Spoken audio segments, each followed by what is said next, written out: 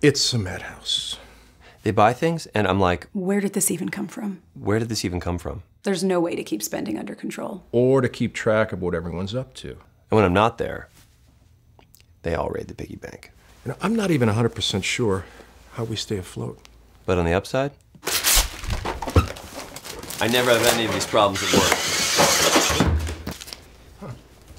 Coupa, leave the chaos at home.